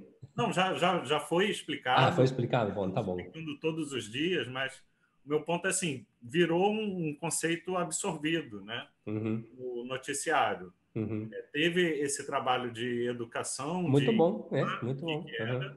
Eu não sei, não, não acompanho tanto televisão, não sei se a cada dia eles estão reexplicando, mas o que, que eu já sei é que se fala média móvel. Bem, é muito bom. Isso que a gente precisava ser. Uhum. E, e, aí o que eu fico pensando é como, é, claro que a gente chegou nessa situação da pior forma possível. Da pior forma possível. Né? de uma pandemia horrível, mas... Ainda que se você pensa, quer dizer, eu falei da, da primeira eh, era de ouro da visualização de dados. A primeira hora da visualização de dados esteve muito relacionada com pandemias também. Eh, o, o, trabalho do Dr. John Snow, por exemplo, foi uma visualização relacionada com o cólera, né? com, a, com a doença, com o cólera. Ao trabalho da Florence Nightingale, eh, vou colocar os nomes deles aqui, John Snow, tem o mesmo nome do que o personagem do, do jogo dos, do, da Guerra dos Tronos. Né? Eh, eh, esse é um doutor. E depois tem a Florence Nightingale, é, que ela fez muito trabalho sobre o, as mortes que aconteciam nas guerras no século XIX relacionadas com infecções de feridas, né? não pelas feridas, mas a quantidade de gente que morria pelas infecções. Então, sempre teve uma relação muito grande entre o desenvolvimento da visualização e o desenvolvimento da saúde pública né? e, da, e da medicina também. Né? Eh, tem um livro, por sinal, que fala disso, se estiverem interessados, chama eh, Maps of Disease, de Tom Koch, Koch eh, Maps of Disease. Tem, ele tem outro livro, deixa eu procurar aqui, porque ele publicou faz um outro mais, Tom Koch. Eh, não, não, não é Map of Disease, é Cartographies of Disease. Este é um livro excelente, Cartographies of Disease. E ele tem vários mais, tem outro que chama Disease Maps, mas eu gosto este um pouquinho menos. Eu começaria com Maps of Disease.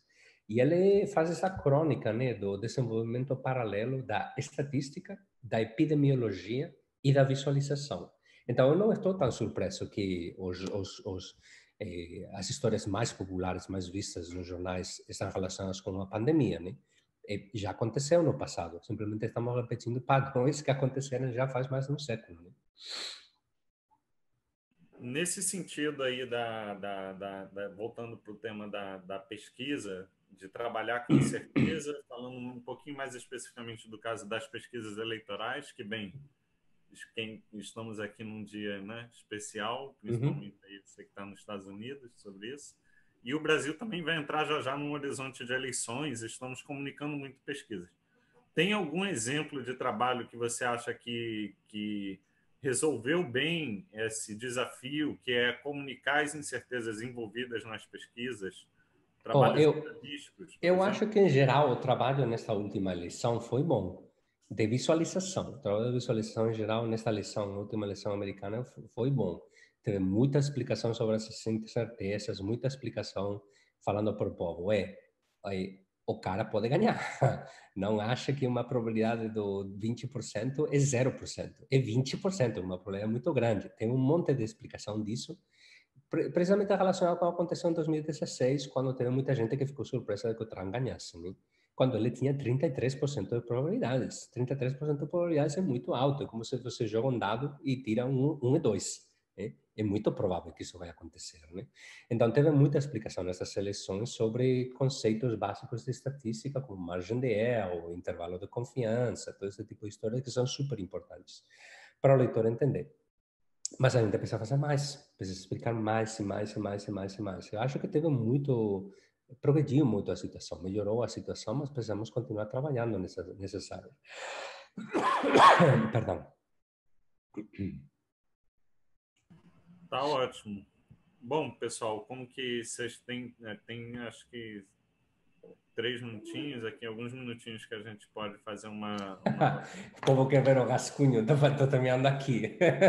então, mas, ó, às vezes eu transformo estes rascunhos que eu faço na. Eu chamo isto da. Eh, os meus desenhos de reuniões de Zooms. Eh, porque eu tenho um monte desses desenhos que faço na reunião de Zoom. Ó, este é um, é um soldado visigodo da Espanha do século VII, do século VII. É, armas e vestimenta, tudo exatamente como era historicamente. Né? Eu, uma das minhas paixões, assim, dos meus hobbies é ler sobre a história antiga, né? E eu tenho lido, lido um monte de história social, cultural, militar, etc., de guerras da época e tal a aparição do Islã no, no, no, século VII, etc. Eu tenho feito muita pesquisa como amateur, né? Aí sempre estou desenhando coisa, né? Muito legal, o pessoal adorou aí o, a gente conhecendo os cadernos da quarentena. Aí. Esse caderno da quarentena, eu tenho, tenho mais de 100 desenhos de, de, de fazer durante a reunião de Zoom, que é muito engraçado, né? O interessante, e isto é uma, uma, uma, última, uma última coisa, é como é que é que, como o povo fala, você não se distrai quando está desenhando e conversando com uma pessoa, e é todo o contrário. É como que o desenho ajuda você a se focar mais ainda na conversa por algum motivo. Não sei por que que é. Um fenômeno psicológico bem interessante. Sim, sim. Tem uma, vamos, tem uma pergunta aqui da Isabel, aí eu acho que a gente pode ir encerrando depois, que ela pergunta o seguinte: a visualização de dados pode ser também uma forma de organizar uma grande quantidade de dados para então colocar as perguntas e buscar uma visualização do resultado. Acho que ela está falando um pouco de da exploração, né? Da visualização exploratória. Sim, tem, tem bastante coisa sobre isso. Tem, tem toda uma área de da estatística que chama exploratory data analysis, que é basicamente usar visualização não para comunicar, mas para achar coisas nos dados. Né? Tem o livro clássico desta área é o livro do, do John Tukey, que tem esse mesmo título, Exploratório de Análises. John Tukey é o autor, mas é um livro antigo, dos anos 70. Eu tenho ele, eu li ele, é um livro super legal, mas já está, está quer dizer, foi nos anos 70, faz muito tempo já, né? Mas tem livros mais modernos que explicam esta aproximação à, à exploração de dados. O livro que falei antes, de R for Data Science, R para a ciência dos dados, ele começa com toda uma sessão de exploratório de análise, como usar visualização para perceber coisas que você não consegue ver simplesmente lendo os números, né? E eu começaria com isso, com esse, com esse livro. E tem alguns outros livros também. Se você faz uma pesquisa na Amazon, Exploratory Data Analysis Visualization, vai achar livros que, que falam deste, deste assunto. Tem também, por exemplo, falando de... Eh, tem um livro do Klaus Wilke, vou procurar ela e vai colocar Klaus Wilke. O Klaus Wilke tem um livro de visualização que fala disso também. É um livro super bom e visualization. E o livro dele também está disponibilizado eh, online de graça. Chama Fundamentals of, of, Data Visualization. Esse é o livro que eu linkei aí. É um livro super bom. Eh, eu recomendo ele, por sinal, o livro está disponibilizado de graça na internet, mas eu recomendo todo mundo sempre. Se você vê um livro de graça eh, gratuitamente na internet, legalmente colocado na internet pelo próprio autor, dê um apoio para o autor e compre o livro depois. Né? Se você eh, se aproveitou do livro, aprendeu do livro, contribua um pouco para o leitor. Então, tanto este livro quanto o R for Data Science, eu recomendo vocês deem uma olhada primeiro online, porque o livro está gratuitamente online, os dois livros estão gratuitamente online, mas depois tá, o, o, o, autor precisa comer também, né? Dê um pouco de apoio para esses autores também. Beleza. Bom, é, queria aproveitar aqui para fazer uma pergunta final aí para já deixar uma, uma, uma deixa para o seu encerramento, que é de você comentou dessa possibilidade de você estar tá pensando num livro para o ano que vem que talvez aborde esses temas aí de tomar decisões. Se você puder comentar um pouco sobre seus projetos futuros, o que que você está trabalhando, perspectivas para o ano que vem, para o pessoal também te acompanhar na Vou mandar aqui seu Twitter para o pessoal te acompanhar nas redes sociais. Mas comenta um pouco do que, que você está trabalhando aí, o que, que você está pensando para o ano que vem. Eu, bom, as aulas, continuo dando aulas. Tenho dois ou três projetos aí em andamento através da Universidade de Visualização para eh, agências governamentais aqui dos Estados Unidos. Eh, continuarei com a um, eh, colaboração com o Google, porque o projeto da, da, da, pandemia, o Epicentro, foi uma colaboração não só com a Lupa, mas também com o Google News Lab, que forneceu o, o financiamento. Eu colaboro muito com eles em projetos de visualização, então continuarei com isso. O que estou tentando fazer é reduzir a quantidade, por exemplo, de palestras que eu faço, né? porque, sei lá, a idade já começa a pesar um pouco e, e estou um pouco cansado. Eu gosto de dar palestra, não estou falando que não vai dar mais, né? mas estou tentando reduzir um pouquinho a quantidade para poder me focar mais em coisas mais a longo prazo. Por exemplo, o livro. Né? O livro eu quero muito escrever ele. E já tenho contrato, já está assinado o contrato com a editora, eh, que é a Wiley, aqui nos Estados Unidos, com previsão de publicar ele no começo de 2022, escrever ele neste ano e publicar ele no 2022. E vai estar muito focado em em filosofia moral. Essas outras coisas que eu gosto muito de ler, filósofos que falam de ética, né? de ética aplicada. Né? E tô, o que eu vou tentar fazer no livro é, logicamente, falar de toma de decisões, e vou entrevistar um monte de gente, visualizadores, para ver como eles tomam decisões e como justificam essas decisões, mas, ao mesmo tempo, o livro também incluirá um, um ensaio meu, pessoal, de a minha visão sobre a ética da visualização. Né? Ser, eu acho que vai ser o livro mais pessoal meu eh, mais que dar dicas gerais de falar isto é que a evidência empírica fala que funciona que não, vai ser um livro que vai ser escrito muito desde a primeira pessoa. Na minha opinião, eu faço isso, eu faço isso. Se você quer pegar ideias do que eu faço, aí tá, eu vou explicar para você como que, que eu faço, para você tomar ideias disso, né? E, e não sei, isso, aprender mais, sei lá, vou pegar um, um sabático aí no, na segunda parte do ano que vem, estou esperando poder usar esse sabático para aprender um pouco mais de programação, que já tenho, uma, bastantes anos que não consigo parar por um, por um tempo realmente começar a estudar eh, em sério eh, eh, programação e depois estatística também, também quero. Probabilidade, principalmente, teoria da probabilidade. Então, muito, muitos projetos. Não sei se vou ter tempo para tudo, mas vamos ver, né? Muito legal. Aguardamos ansiosamente o livro e, e seus próximos trabalhos. Queria agradecer novamente a, a, sua participação aqui no CODA. Eu sei que é difícil encaixar aí na agenda muita coisa, mas é uma honra muito grande ter, ter você mais uma vez com a gente. Igualmente, eu, eu que fico feliz. E obrigado também todo mundo pela presença, pessoal. De tarde temos mais workshops, de noite o painel. Nos vemos por aí. Até a próxima. Tchau, obrigado.